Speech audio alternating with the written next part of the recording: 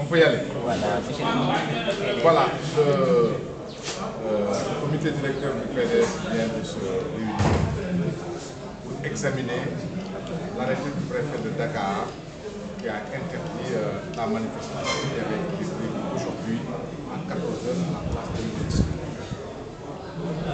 Nous prenons acte de cette euh, décision en demandant aux populations pacifiquement, tranquillement, euh, pour celles qui sont déjà sur place de rentrer chez elles et les autres de rester chez elles. Nous tenons simplement à informer à la fois l'opinion nationale l'opinion internationale et aussi les représentants diplomatiques qui sont dans notre pays que nous dénonçons cette grave violation des droits et de nos libertés. Parce que le droit à la marche, le droit aux manifestations publiques est un droit d'essence constitutionnelle. Et le PDS a démontré depuis que nous sommes dans l'opposition que jamais nous n'avons eu d'affrontement avec les policiers.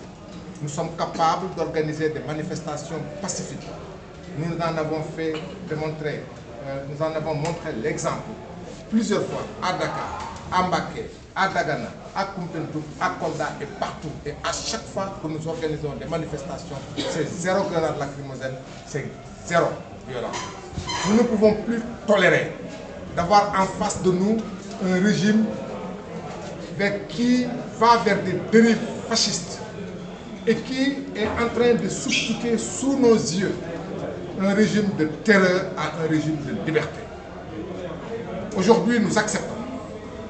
Le Parti démocratique sénégalais va demander à ses avocats de saisir la justice. Le Parti démocratique sénégalais demande aux populations de se tenir prêtes.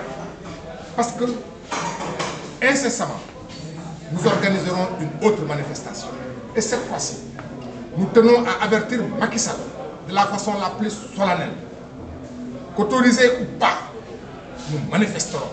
Parce que nous ne pouvons pas accepter d'être des otages, d'être des otages d'un régime qui est aux abois, d'un régime incapable, parce que Macky Sall fait preuve d'incapacité. Il est incapable de gérer ce pays. Il est en train de mener ce pays vers le mur, droit vers le mur. Les Sénégalais souffrent et c'est le moment pour nous de manifester et de manifester démocratiquement.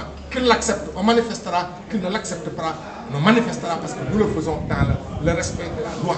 Il n'est pas question que l'opposition soit la seule à respecter la loi. Le président de la République est le garant de la loi. Il est le garant de l'exécution de notre Constitution. S'il viole la Constitution, nous, nous ferons tout ce qui est possible pour la respecter. Par conséquent, nous demandons aux populations de se tenir prêtes, pacifiquement. Nous manifesterons et nous ferons face. Voilà.